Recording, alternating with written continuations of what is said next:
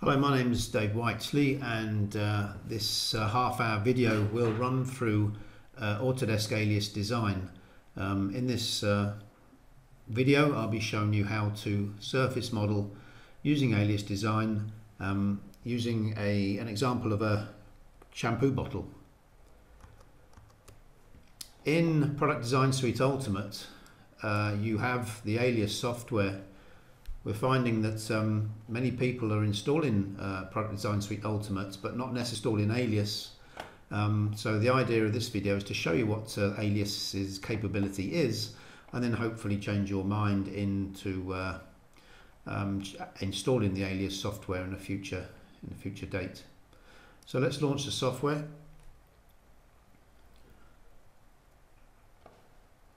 You do get some uh, skill movies when you start up. These will enable you to uh, get started quickly with the Alias software. I'm just going to close this down and open up a, a model which has just got some wires in it that I'm going to use to uh, surface model. I've got a shelf at the bottom here. Now the idea of Alias is that you get a, a palette on the on the left hand side here that, that contains all the commands that you require. Um, your favorite commands can be added to a shelf at the bottom here. This, these can, all can be moved around afterwards. Um, I've got this uh, um, set up so that it auto hides and um, this enables me to get the maximum uh, graphics screen available but also the common commands that I use are available to me in this shelf. First thing I'm going to do is uh, add a square surface to my uh, rails I've already got on this model now what I'm going to do is I'm going to set uh, continuity to the four rails and it's important to note that uh, I'm assuming that the ZX axis is the symmetry axis and all surfaces need to be coming off of that um, plane um, tangent.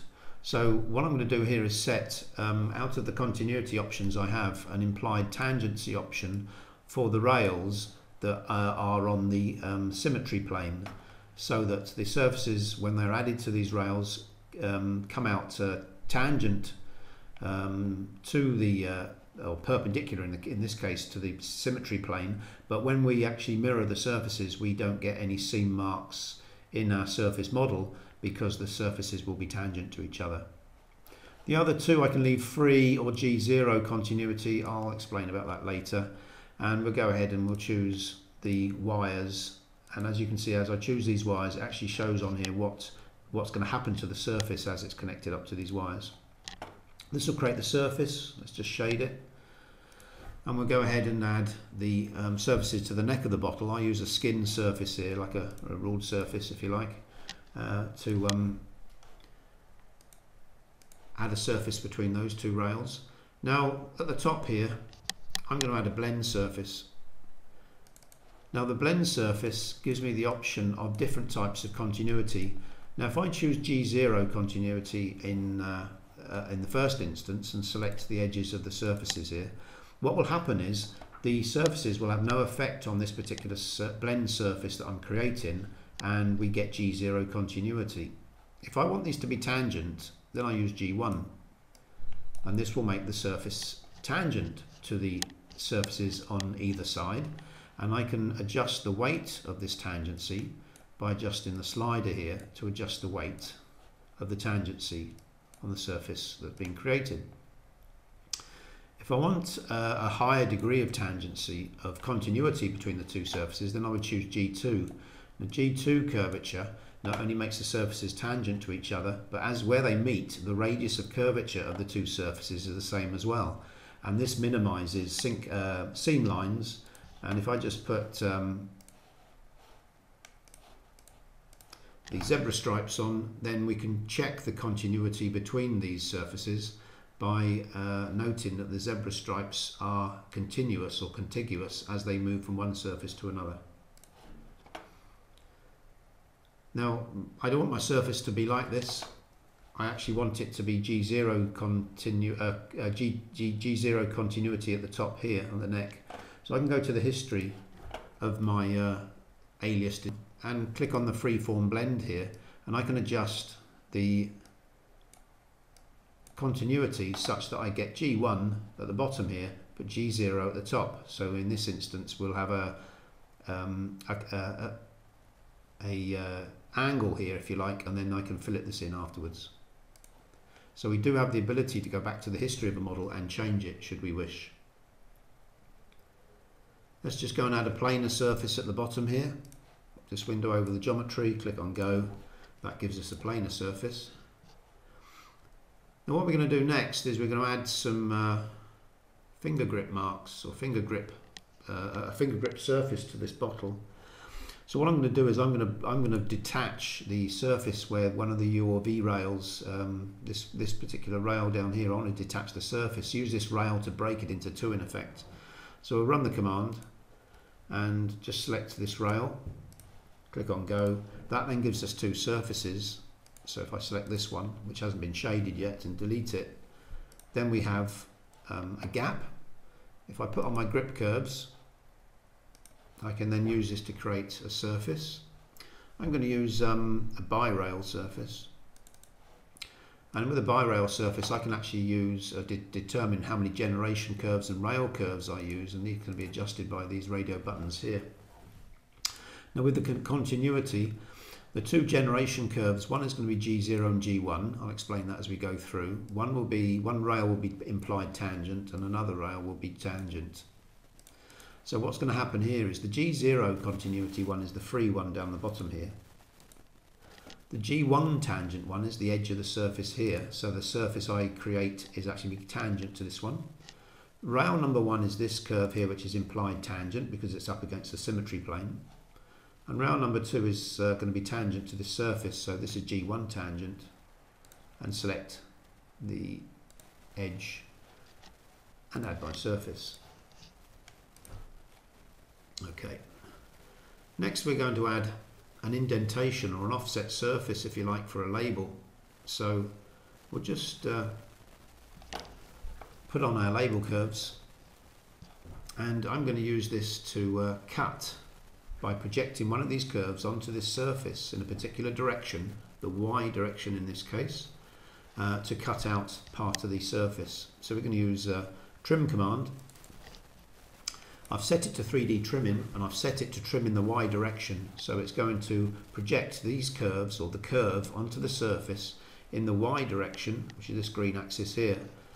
So we'll go ahead and select the surface, the curve, the position, uh, a position on the surface and I'm going to tell it to discard this section or this segment and this, this then cuts out that segment as it projects the curve onto the surface.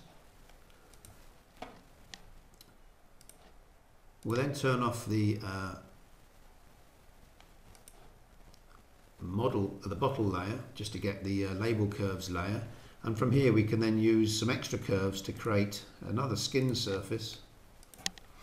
And then project the inner curve and keep this segment such that we now have two a, a gap, which we're going to fill in in a minute, and an offset surface. So I'm just going to select this surface and put it onto the correct layer. And we now have the surfaces ready to um, blend and also this is where the label is going to be attached on this bottle so uh, it's starting to become more like a bottle that you would have seen on the uh, shelves of a supermarket. Okay, so what we're going to do next is we're going to add uh, a spline to the ends of these edges here. We're going to snap to the end points. And then we're going to use tangency to actually make the curve tangent to one of the edges. Alright, so what's going to happen here is this surface is going to be G1 continuous uh, and tangent to this surface, but G0 to the one at the top because there's going to be a seam. Likewise at the bottom here we do exactly the same thing. Create a curve, a, a spline by attaching and snapping to the edges of the surface. I'm using the control and alt keys at the same time to do this. And then we're going to use the align command to align the surface tangent to the edge. Now we've got this, we'll use the bi-rail surface again. Again, 2 by 2 uh, in this case, generation curves 1 and 2 will be implied tangents. These are the two splines I've just added, and again, these are on the symmetry plane, so these need to be made implied tangent. Then one rail is going to be G0 position, and the other one is G1 tangent. I'm going to rebuild the splines on these so that when we create the surface, the splines on the edges will get rebuilt. So we'll select the implied tangent splines, the G0 position edge, which is this one at the top, and the G1 tangent edge, which is this one at the bottom. And that will now create me my surface on the label, or just outside the label area. Okay, so let's add some uh, fillets. So we'll go to the surface uh, fillet command, select the two surfaces in this case on the one side of the fillet and the surface on the base and we'll give it a radius of about 3 millimeters and build that surface. Click on next to reset the uh, dialog box for the next fillet and now we'll select the neck, accept the other surface next to it, accept. Um, yep, the center direction is correct and we'll click on build to build ourselves. Now if I just move the slider you can see that it will change, it automatically updates the fillet radius and last but not least, we'll put a small uh, between this uh, surface here of the label and the outer surface of the bottle. In this case we need to check that the, the yellow and the purple arrow here point to the center of the, um, the radius uh, um, uh, so by clicking on the arrows you can actually change the direction of the arrow to point to where the center of the uh, radius is.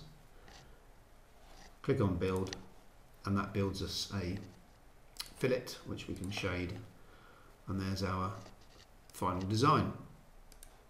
Now again we've got the ability of going back to history. This is one of the most powerful things in Alias is the fact that even though this is a surface modeler we can still go back and adjust the history of this. So if I go to the history button here and choose say the last surface sorry the one for the neck we can actually change the radius and let it update and it remembers um, all the other settings and we're able to adjust the radius or if you click on undo all that'll actually undo that radius that fillet then we can go back and add something else to it afterwards so you've got the ability of going back in history in time to adjust your um, features that you've created within the surface model. We'll just add that surface again. So we just go back to the surface fillet. When you use an alias, remember these buttons at the bottom right hand corner. They will catch you out. Okay, there's our bottle design. All we need now is to turn on symmetry in the layers and there's our final design. Um, if you want to put a, a planar surface on the top here, then all you have to do is go to layers, go to symmetry, put create geometry on. That will actually create separate geometry from the mirror, from the original geometry along the symmetry plane. And now we can actually go ahead and add our planar surface on the top two curves here. And there we are. There's our bottle, all done in Alias Design 2013. Thank you very much.